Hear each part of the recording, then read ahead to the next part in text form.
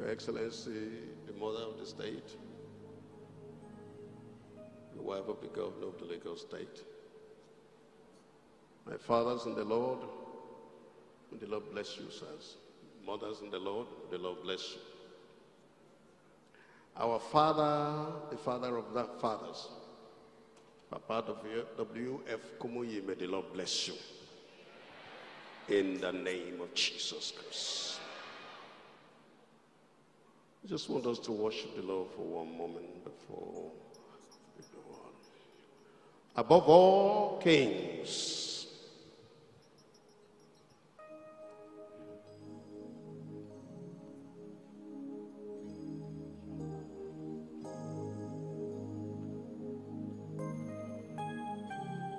Thank you, Jesus.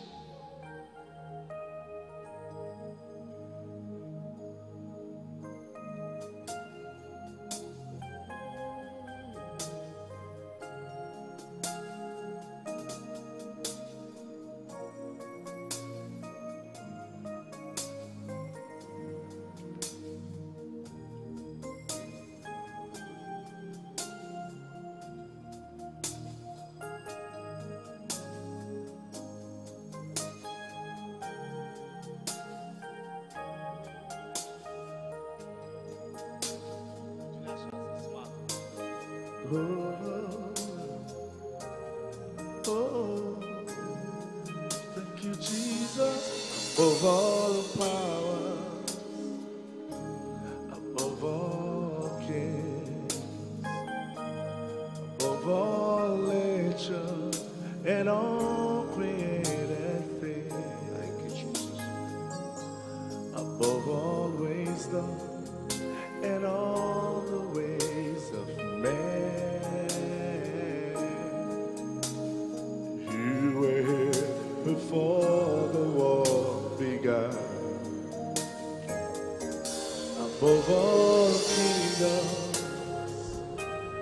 above all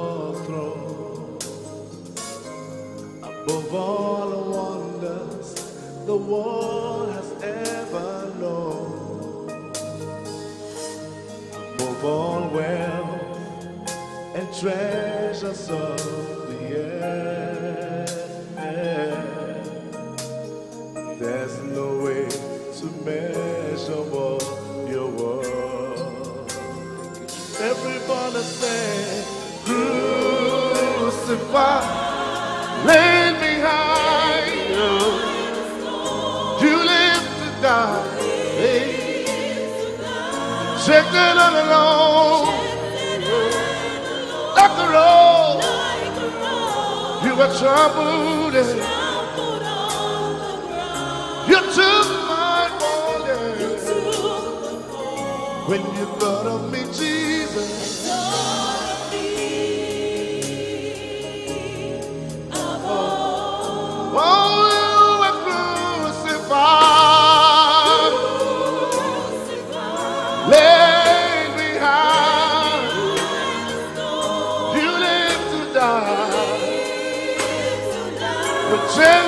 Alone, the road. You and you took my when you thought of me, Jesus.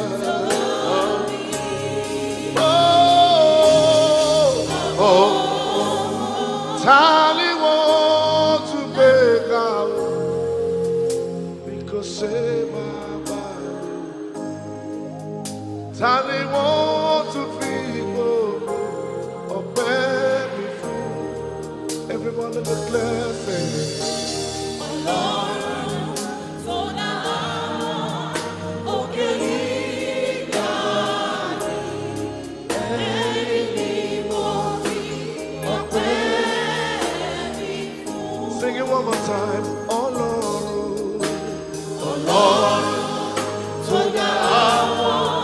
God, okay,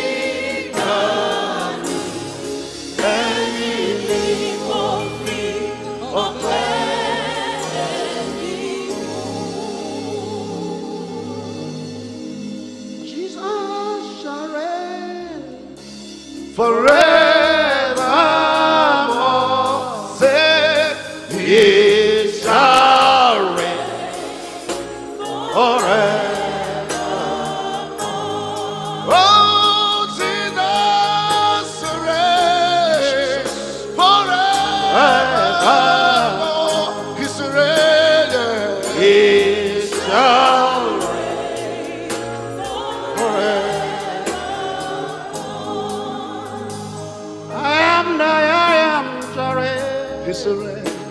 Jehovah Shammah Share. He's a reign. He is a reign. He's a reign forever. Ọlọ́wọ́ gbọ́gbọ́rọ̀ ṣàrẹ́. Chineke ṣàrẹ́ forevermore. Oh, he's a reign.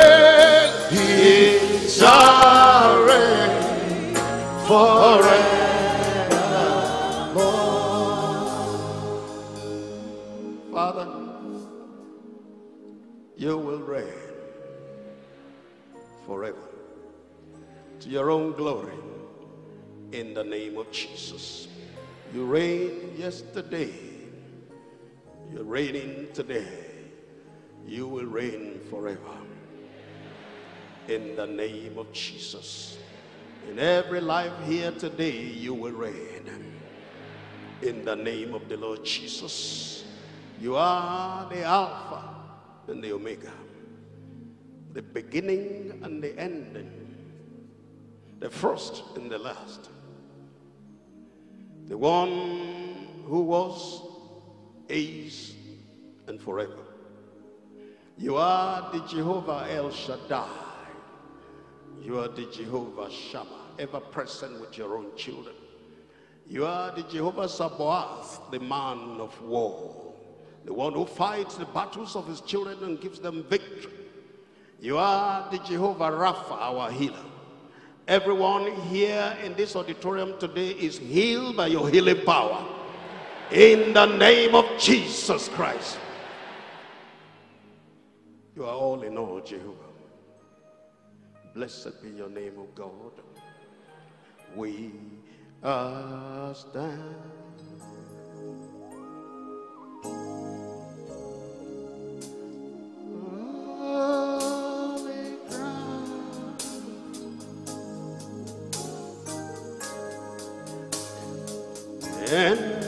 I know that there are angels all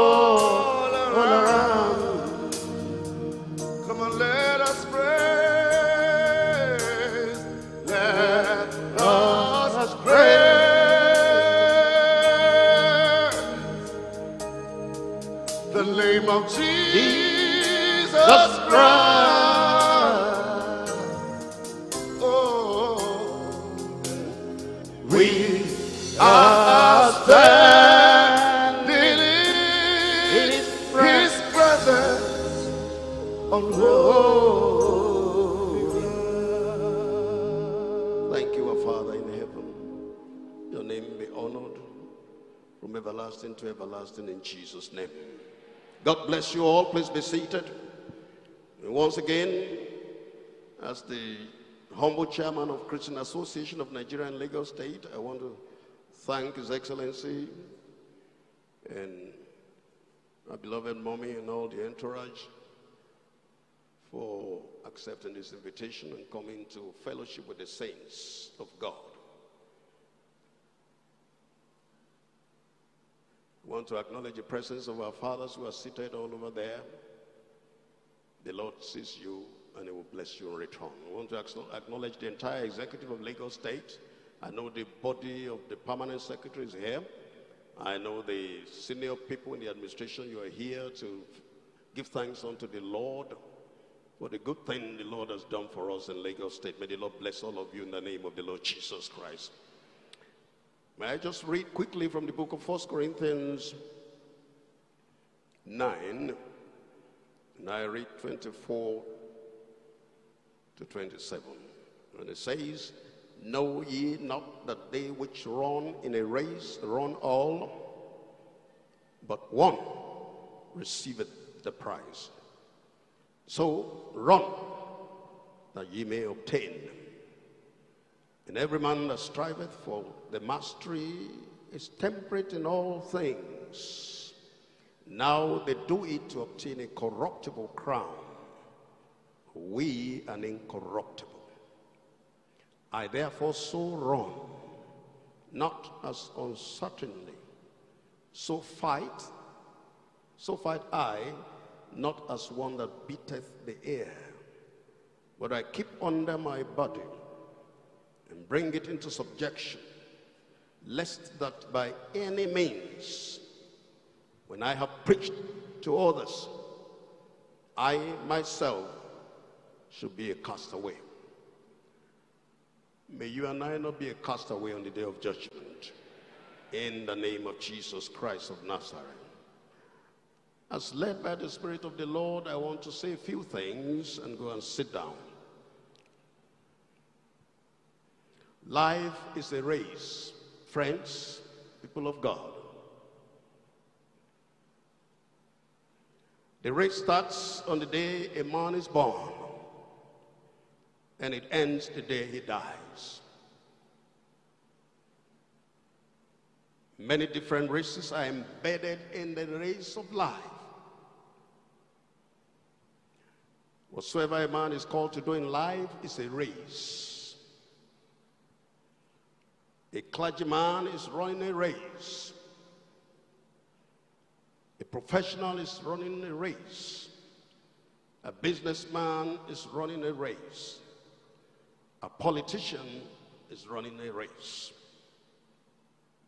For every race, there is a starting point, and there is a finishing point. I'm speaking just briefly on finishing well. And I pray that everyone here today will finish well. In the name of Jesus Christ. Yoruba people will say, Ibere. Amen. I will not want to speak in tongues much upon this holy altar. Again and again, we've seen men start well in running the race of their lives, but they end badly. May you not end badly in the name of Jesus Christ. The book of 1 Kings 11, 1 to 11, if you have time, you can read it. Two prominent characters were mentioned there. One, Solomon, and his father David. The two of them ran the race of their lives. David, whichever way you say he started, he ended well because he was a man after the heart of God. Solomon, his son, started well, but he ended badly. May you and I not end badly in Jesus' name. May you and I not end in shame in the name of the Lord Jesus Christ.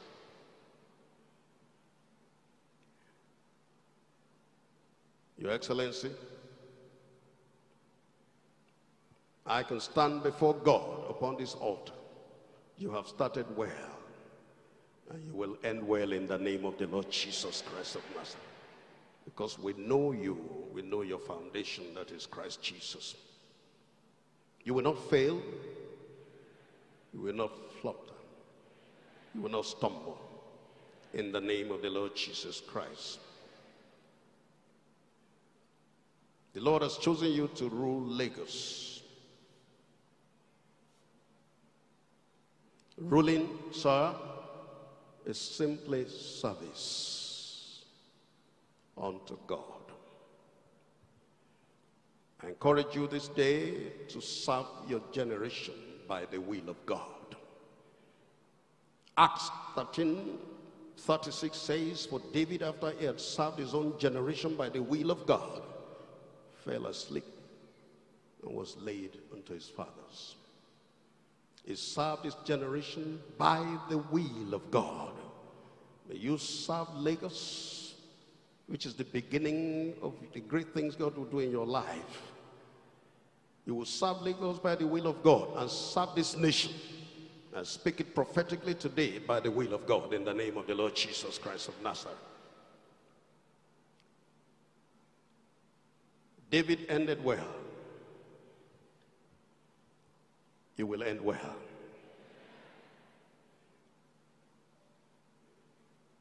I want you to pay attention, sir. Giving this word out before to the book of Second Samuel, chapter 23. Read 1 to 4. The Bible says, Now this be the last words of David. David, the son of Jesse, said, And the man who was raised up on high, the anointed of the God of Jacob, and the sweet psalmist of Israel, said, Verse 2 The Spirit of the Lord spoke, spake by me, and his word was in my tongue. This God of Israel said, The rock of Israel spake to me. He that ruleth over men must be just, ruling in the fear of God. And he, verse 4, and he shall be as the light of the morning. When the sun riseth, even a morning without clouds, as the tender grass springing out of the earth by clear shining after rain. When a ruler is given position to rule, he has no choice if he's a child of God but to rule over men and be just, ruling in the fear of the Lord. The Bible tells us, Ecclesiastes 12, 13, and 14, there is a conclusion to life. And it says, Let us hear the conclusion of the whole matter. Fear God and obey his commandment. For this is the whole duty of man. I will be closer but not without letting us know some important things that we must do to finish well. Whatsoever race you are running, I'm running a race. Whether you know it or not, you are running a race. To run the race of life and finish well, number one, we must run it with God. No one can run the race of life without Jesus Christ and finish well. No, it won't happen. It may be an illusion. You may think you are doing well, you're riding high. But without Jesus, you cannot finish well. It's not possible. God will never contradict his word. John 15, 5b says, Jesus said, Without me, you can do nothing. Psalm 121, 127, excuse me, 127, 1 says, except the Lord builds the house, the laborers labor, but in vain. You will not labor in vain in your life in the name of Jesus. Hebrews 3, 4 says, all houses are built by some man, but he who builds all things is God. Number two, running the race to finish well, you must run it in the fear of God and give him all the pleasure. Because the reason every man and woman is created is to give God pleasure. You start a day, at the end of the day, you must ask yourself the question, have I given God pleasure today? Number three, we must run it to finish well, run it humbly. Humbly in the power of God. Pride goes before destruction.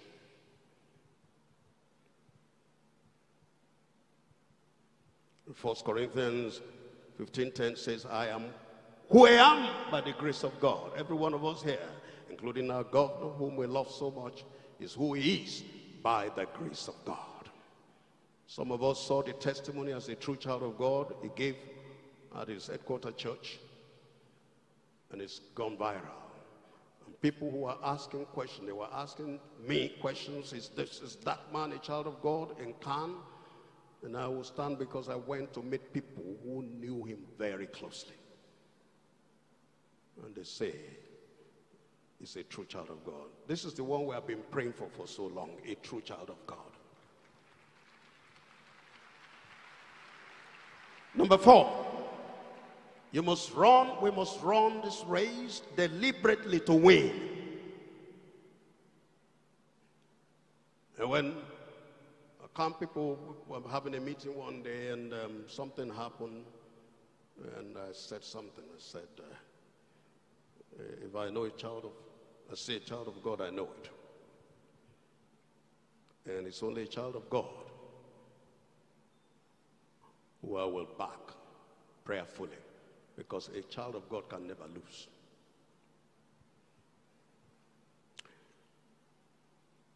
We must run it deliberately to win. We must run it courageously. And then we must run it lawfully and justly in order to win. 1 Corinthians 9 24, 26 that I read. And five, we must run it without worldly distractions. We must run it focusing on eternity. What shall it profit a man? I have, I have, I have, my career took me all over the world. I was in the 70s, sat down with the treasurer of General Motors in America. Will sit down with the treasurer of Volkswagen in Wolfsburg. In Wolfsburg.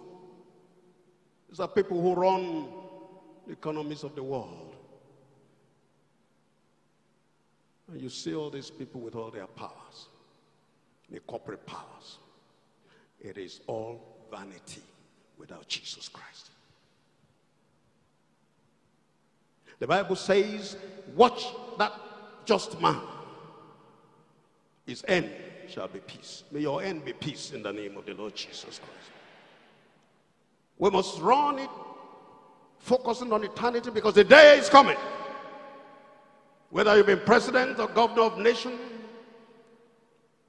you've been whatever you've been, president of banks, managing director of great corporate things, the day is coming that we'll give an account to God. Nothing the only power there is that is power is the power of God. Every other power is transient.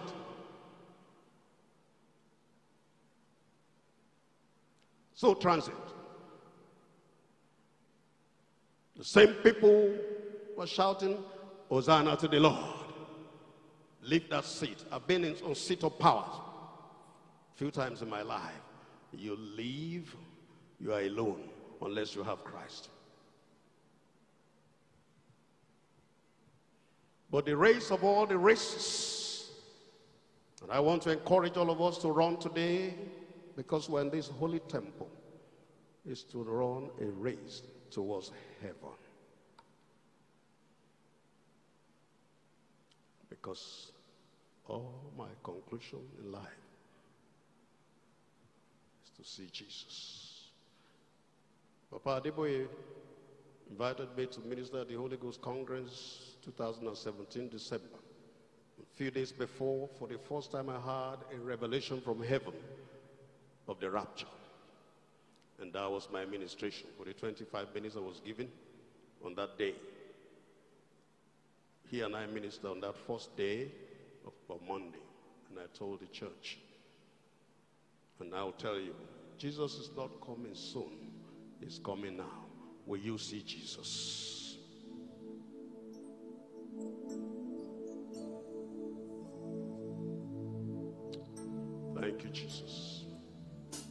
Sometime in the sky, I will see Jesus. Someday, sometime, sometime in the sky, I will see my Redeemer. Sometime, sometime in the sky, will you see Jesus? Thank you. God bless you. Someday, sometime in heaven above.